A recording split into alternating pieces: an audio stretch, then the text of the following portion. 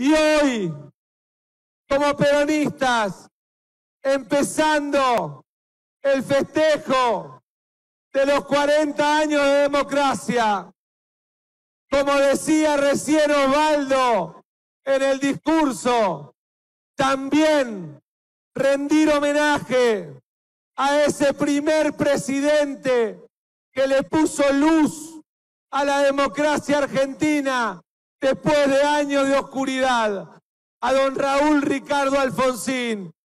Recordarlo, pero sobre todo recordar esa convocatoria que decía, ¿por qué marchamos? ¿Por qué luchamos?